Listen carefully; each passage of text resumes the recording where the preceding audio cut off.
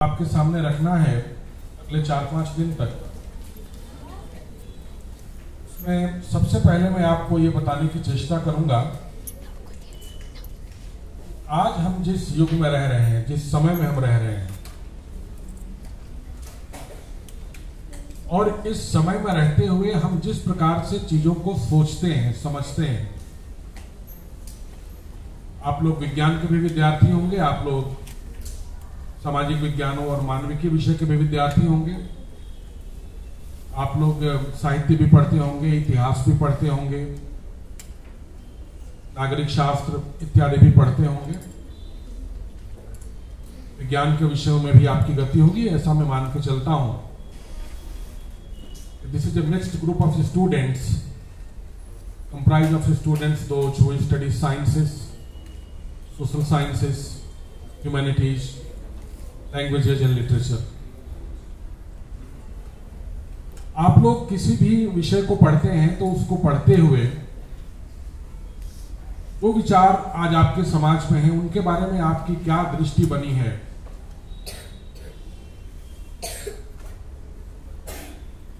Along with your studies, along with your penetration in different subjects how do you visualize different issues around you which are scattered through media and uh, society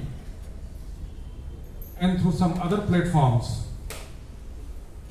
how do you evaluate those things how do you visualize those things जो भी विषय आपके सामने media के माध्यम से electronic media हो चाहे प्रिंट मीडिया हो चाहे आपका समाज हो आपकी सोसाइटी हो आपके इंस्टीट्यूशंस हो आपकी नेबरहुड हो, इससे जो भी चीज़ें आपके सामने आती हैं, उनको लेकर के आप कैसे सोचते हैं? आज आपकी सोचने की जो प्रक्रिया विकसित हुई है, उस विकसित होने वाली प्रक्रिया के पीछे कौन कौन सी धाराएँ हैं? The faculty of thinking you have developed till date What are the main streams which are responsible to configurate your contemporary thinking? जो कुछ भी, जिस चीज़ के बारे में, जैसे विज्ञान के बारे में आप कुछ सोचते हैं, इतिहास के बारे में आप कुछ सोचते हैं, इतिहास के तमाम सवाल खड़े किए जाते हैं आपके सामने जैसे मान लीजिए, पार्टीशन ऑफ़ इंडिया को लेकर के आपके सामने कुछ सवाल खड़े किए जाए पार्टीशन ऑफ़ इंडिया में गांधी की भूमिका को लेकर के या नेहरू की भूमिका को लेकर के या सरदार पटेल की भूमिका को लेकर के उस सवाल आपके सामने खड़े किए जाए। It's very common question in our academic discourse about the reason behind the partition of India and the role of our different leaders of freedom movement like Gandhi and Nehru and Sardar Patel and Mohammad Ali Jinnah etcetera etcetera आप इन चीज़ों के बारे में जो टिप्पणी करते हैं हाउ डू यू कमेंट वो कौन सी चीज़ें हैं जो आपके कमेंट्स को, जो आपके निर्णय को कॉन्फ़िगरेट करती हैं, उसकी रचना करती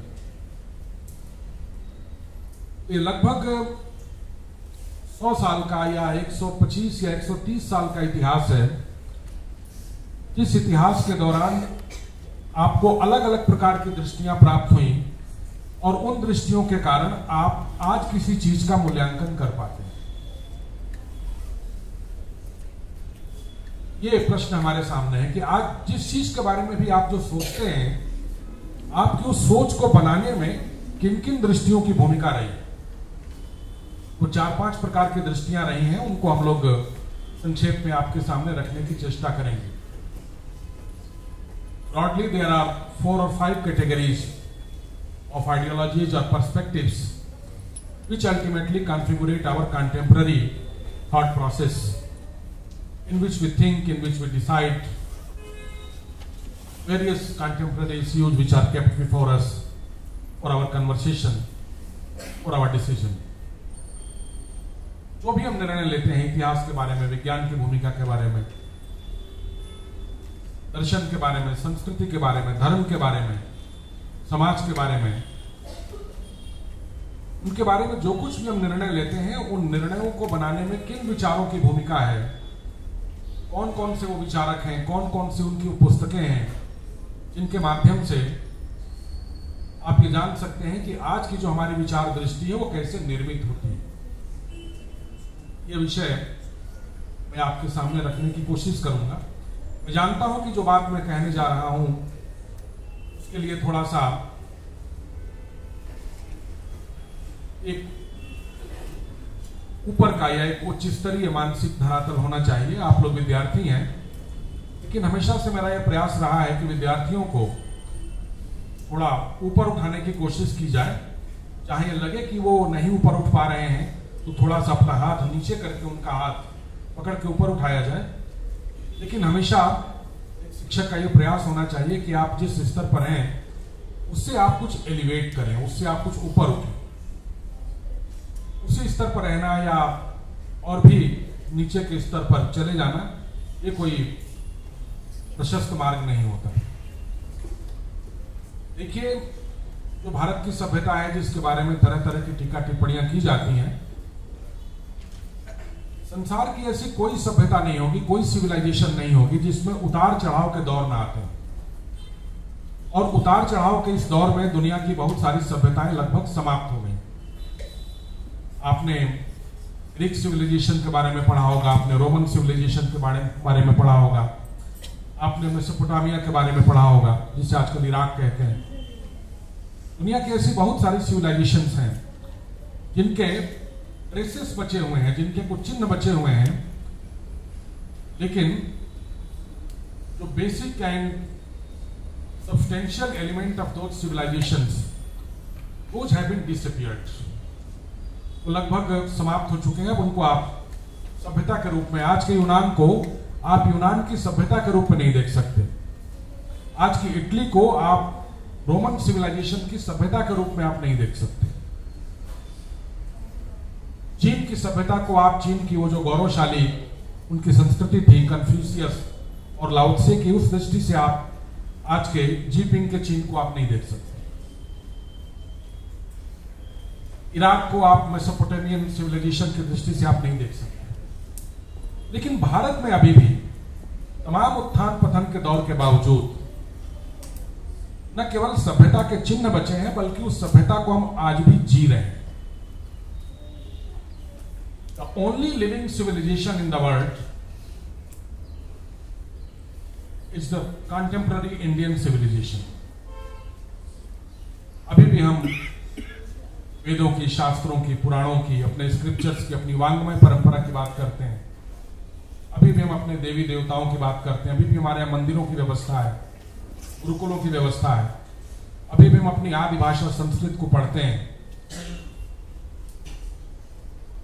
Therefore, we find a consistency and continuity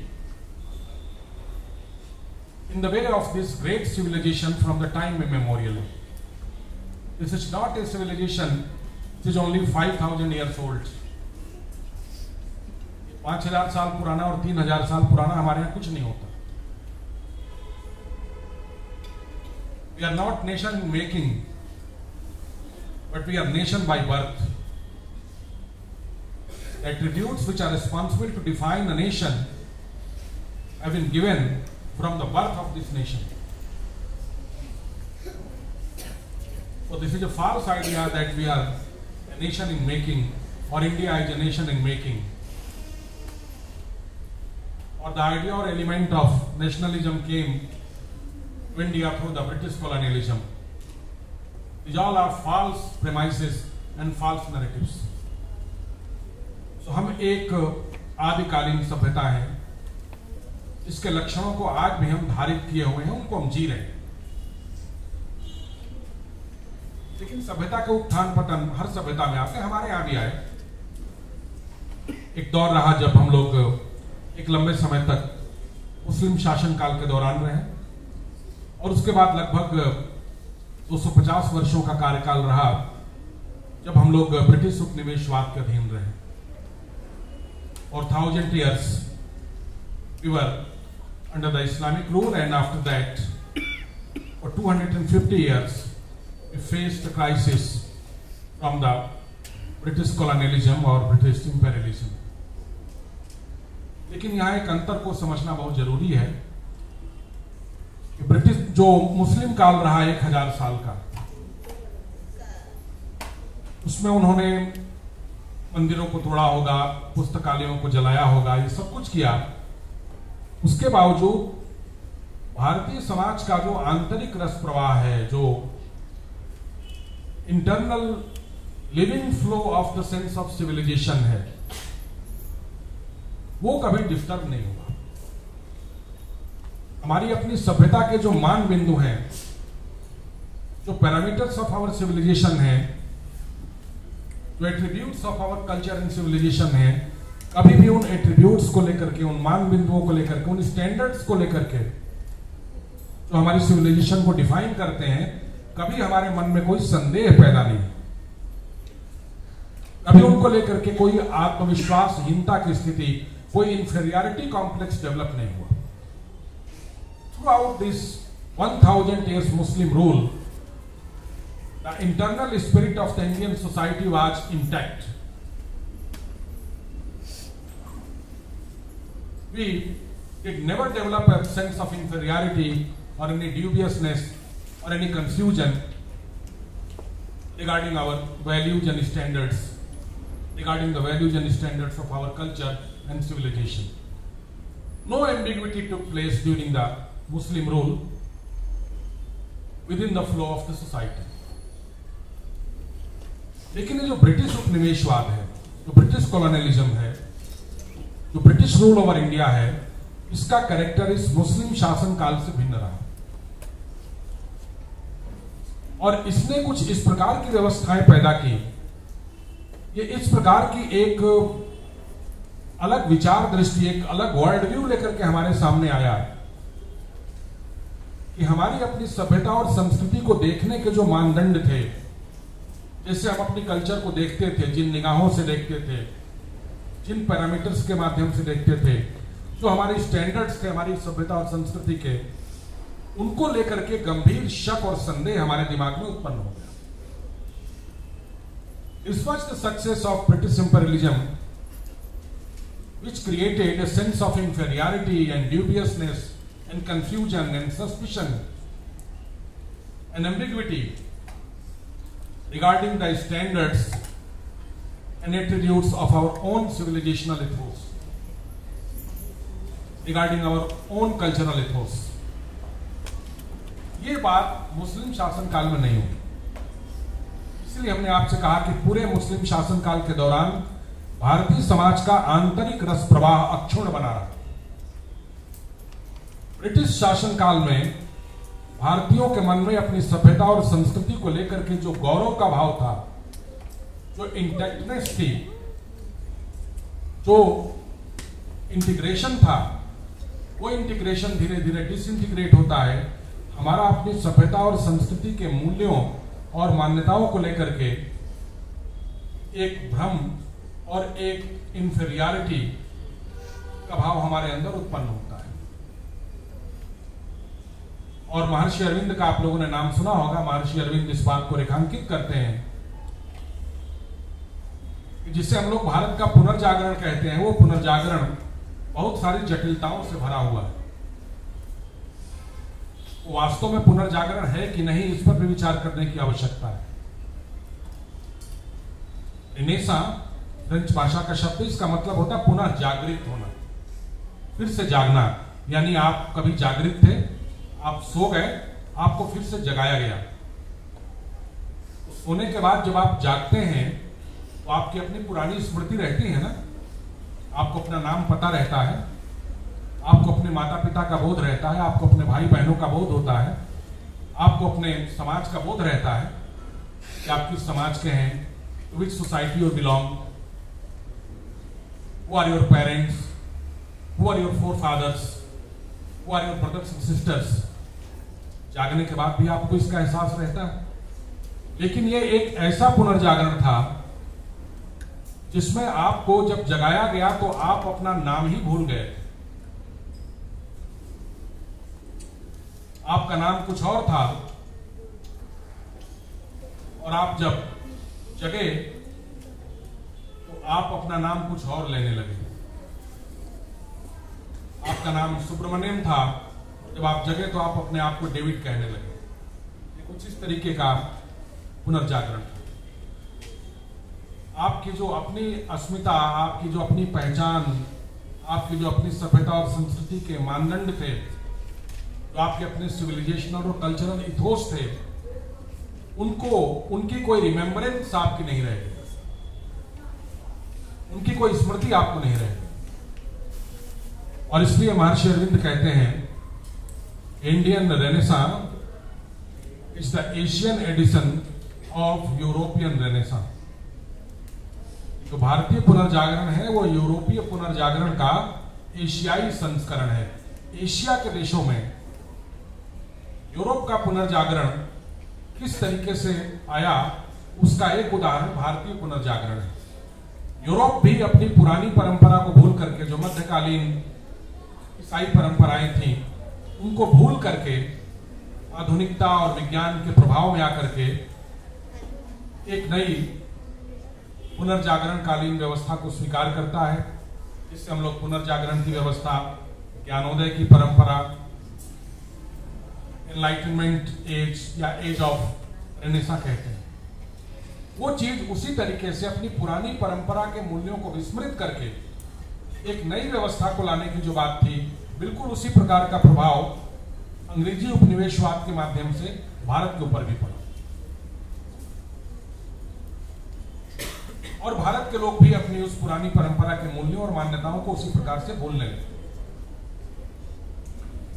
कुल मिलाकर के जब हम आज़ाद हुए इस देश में, जो स्वतंत्र हुए, या राजनीतिक स्वतंत्रता जो हमको प्राप्त हुई the date gotten the independence from the British imperialism में से अगस्त 15 1947 उस दिन हम हम अपने आप को एक ऐसी जगह पर खड़ा पाते हैं, जहाँ से हम आगे तो बढ़ना चाहते हैं। जब हम आज़ाद हो गए, गुलामी की जंजीरों से हम मुक्त हो गए। अंग्रेज़ यहाँ से चले गए।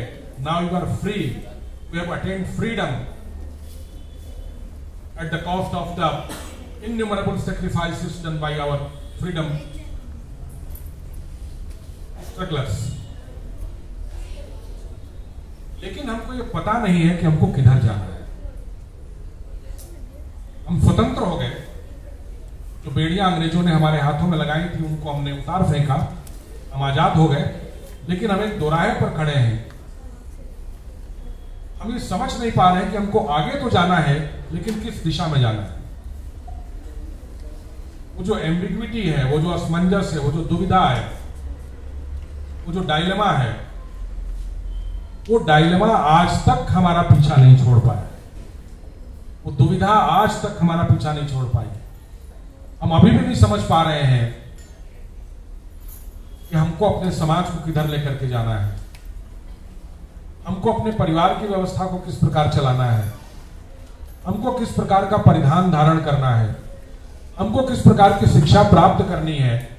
या हमको अपनी आगे आने वाली पीढ़ी को किस प्रकार की शिक्षा देनी है।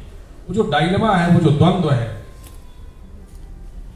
वो जो असमंजस है, अंग्रेज़ों ने हमारे दिमाग को इस तरीके से भ्रमित कर दिया कि हम ये तय ही नहीं कर पा रहे हैं आज तक कि हमको किस रास्ते पर जाना है। जाना है आगे। इसलिए आप देखिए कि जितनी चीज़ें आपके समाज में हो रही हैं, आपकी अर्थव्यवस्था में हो रही है, आपकी राजनीति में हो रही है उनको लेकर के हमेशा आपके मन में कुछ ना कुछ खटकता रहता है। आप उसको स्वाभाविक रूप से स्वीकार नहीं कर पाते। क्योंकि हमारे संस्कार, हमारा इथोस हमारी बनावट, हमारा जो ट्रेडिशनल कॉन्फ़िगरेशन है, वो बिल्कुल अलग प्रकार का है। और ये देश जिस रास्ते पर 1947 के बाद चल निकला, वो रास्ता बिल्कुल उसके अपोजिट है, उसके खिलाफ इसलिए हम तय नहीं कर पा रहे हैं कि आज़ाद होने के बाद, अब तो सत्तर पचहत्तर साल हो गए, हमको जाना किधर है? ये दुविधा, ये प्रॉब्लम डायलमा हमारे साथ अभी तक बना हुआ है। आप लोगों ने विपिन चंद्रपाल का नाम सुना होगा। Have you heard the name of Vipin Chandrapal? Vipin Chandrapal has written a book entitled as Soul of India. You must note the name of this book, Soul of India, a very small book. I think um, if you desire to read this book, you may finish it in three or four days. This book has been written by Vipin Chandrapal, addressing to his European friend, telling about the configuration of Indian mentality and the regions behind it. Vipin Chandrapal इस किताब में लिखते हैं कि आज भारत के लोग अपने आप को जिस तरह से सोच रहे हैं, उस सोच के पीछे कारण क्या है? बिल्कुल उसी बात को जो हम आज आपको बता रहे हैं। किसी भी चीज़ को लेकर के जो हमारी सोच बनती है, उस सोच को बनाने के पीछे क्या कारण है? विपिन चंद्रपाल कहते हैं कि जो कंटेम्प्रेरी इंडिया की जो उस समय भारत के लोगों की अपने बारे में सोच बनी उसको बनाने में तीन फैक्टर्स रिस्पॉन्सिबल थे there were three factors responsible to configurate contemporary Indian mentality. How Indians observe themselves. Their decision making was configured by three important factors. तो पहला फैक्टर था वो कहते हैं कि जो ब्रिटिश अधिकारी भारत में आए ब्रिटिश ऑफिशियल्स भारत में आए टू एडमिनिस्टर इंडिया उन्होंने जिस तरीके से भारत को गवर्न किया the pattern of governance of India through the British officials impacted very much regarding the making and remaking of Indian mindset. जो आप लोग हर चीज़ के स्टैंडर्ड देखते हैं ना, जिसको आप लोग लॉजिस्टिक्स कहते हैं ऐसे हमारी क्लासरूम होनी चाहिए, ये हमारी यूनिफॉर्म होनी चाहिए। इतने हमारे पीरियड्स होने चाहिए। हर काम हम घड़ी देख करके करते हैं। हर चीज़ का एक अपना स्टैंडर्ड है मानक है। मेज़रमेंट है कैलकुलेशन है। हमारी पॉपुलेशन कितनी है, उस पॉपुलेशन में कितने मेल हैं, कितने फीमेल हैं। कितने बिलो 18 इयर्स हैं, कितने एबव 18 इयर्स हैं? कितने पढ़े लिखे हैं, कितने पढ़े लिखे नहीं हैं? कास्ट वाइज उसकी स्ट्रक्चर क्या है? ये जो कैलकुलेशंस ये जो मेज़रमेंट ये जो सेंस ऑफ़ टाइम ये जो सारी चीज़ें आई ये अंग्रेज़ अधिकारियों के द्वारा आई क्योंकि उनको आपको अपने तरीके से एडमिनिस्टर करना था। आपको एक ऐसा सिटीजन बनाना था, जो एक ऐसे सिस्टम में रहने के अनुकूल हो, एक ऐसे सिस्टम में रहने का अभ्यस्त हो, जिसको वो आसानी से गाइड कर सके। आप ज़्यादा उसमें सवाल जवाब करने की गुंजाइश में ना रहे। आपसे कहा गया स्टैंड अप तो आप खड़े हो जाए, आपसे कहा गया सिट डाउन तो आप बैठ जाए। आपको जो यूनिफॉर्म कही गई वो यूनिफॉर्म पहन करके आए। जितने बजे आपको आना, उतने बजे आप आए। जितने बजे आपको जाना, उतने बजे आप जाए। ये जो स्टैंडर्ड्स तय करने वाली बात है, ये ब्रिटिश ऑफिसर्स ने हिंदुस्तान में शुरू की हर चीज़ का सर्वे करना। जो शुरुआती जो जिला कलेक्टर्स आए हिंदुस्तान में, उन्होंने एक एक ज़िले का गजेटियर लिखा। You students should visit your archives and uh, try to get knowledge about your gazetteers about the features of your own district. Each and every district of india were covered by these district magistrates or district collectors who wrote in detail in the gazetteer of that particular district उन्होंने लिखा कि यहाँ की जलवायु कैसी है how is the climate of this state which are the main crops of this state which are the main food habits of the people of this state what is the clothing pattern of this state which type of birds and animals are found in this state which type of flora and fauna is found in this particular district which type of criminals are there in a particular district and what is the style of their doing crimes. Each and everything minutely observed by these district collectors were mentioned in the gazetteers of each districts.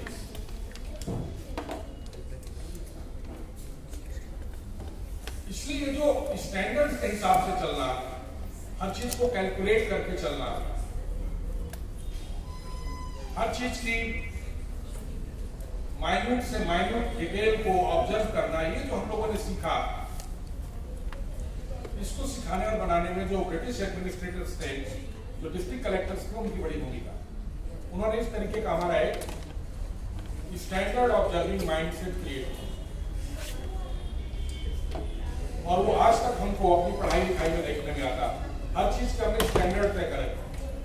आप लोग आगे अभी universities में जाएँगे, अगर आप PhD करेंगे research करेंगे, कोई पेपर लिखेंगे तो उसके लिए स्टैंडर्ड्स तय किए गए। कि आपको इन्हीं स्टैंडर्ड्स के हिसाब से अपनी रिसर्च करनी है, अपने पेपर लिखने हैं। आप लोगों को जो बुक्स प्रिस्क्राइब की गई होंगी, उनके पीछे आप देखते होंगे, कुछ रेफरेंसेस दिए होते हैं for further readings you are advise to go through this reading वो रेफरेंसेस लिखने की क्या स्टाइल होगी? उसके भी स्टैंडर्ड्स तो स्टैंडर्ड्स में रहना, एक फॉर्मल लाइफ में रहना, एक फॉर्मल सेटअप में रहना, और वो एक टाइट फॉर्मल सेटअप है। ये चीज़ हम लोगों को इन ब्रिटिश है उसके बाद कुछ ब्रिटिश मिशनरी भी भारत में आए। भारत में चर्च बने, केरल वगैरह में आप देखते हैं। क्रिश्चियनिटी का काफ़ी एक्सपेंशन हुआ चर्चेस बने। उनके फादर्स आए मिशनरीज आए। और उन मिशनरीज ने अपनी दृष्टि से, अपने तरीके से भारत के रिलीजन को और रिलीजियस सिंबल्स को देखने और डिफाइन करने की कोशिश की तो पीछे क्या प्रॉब्लम है? अगर आप लोगों को नहीं अच्छा लग रहा तो आप जा सकते हैं। तो people are free to go out you have no interest in such type of conversation it is natural it may be natural for so many people may go out easily but don't disturb the session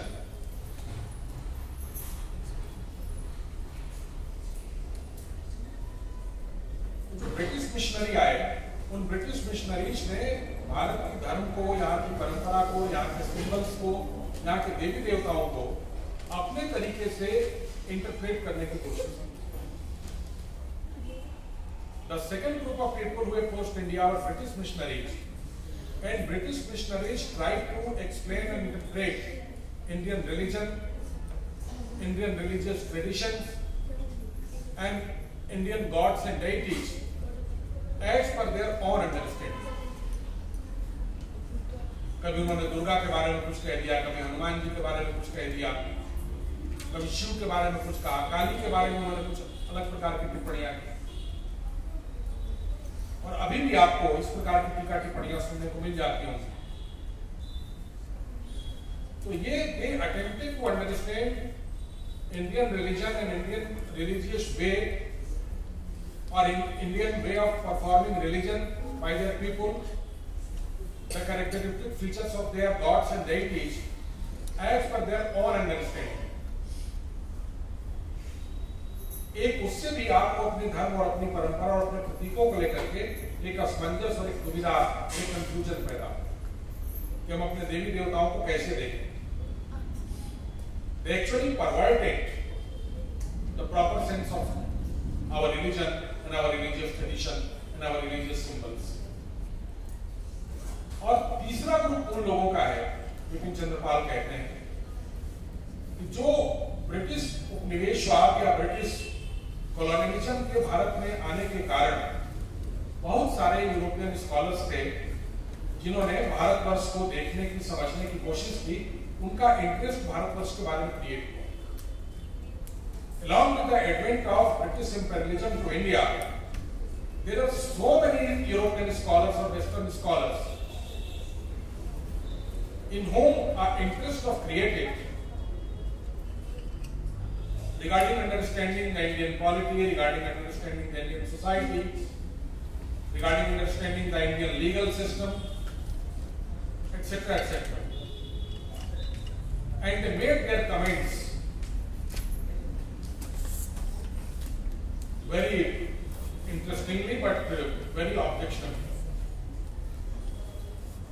There are so many scholars like uh, Montesquieu and Barker and Willoughby and Dunning and Hegel and Marx, etc. Note down their names. Barker, Willoughby, Dunning, Hegel, Marx, and Montesquieu. Montesquieu. Hegel, Marx, Montesquieu, Barker, Willoughby, and Hegel. These are a few out of so many. Some of them commented that uh, India has no proper sense of state. There is no proper sense of idea of pure state in India. State is very much intermingled with the religion. State is very much mixed with the society. There is no proper sense of law in India. Law is very much mixed up with religion and ethics. There is no proper sense of sovereignty, the concept of sovereignty in Indian polity. It is very much mixed with the metaphysical attributes. So, all things are very much intermingled society and politics and philosophy and law and ethics. All these things are so intermingled,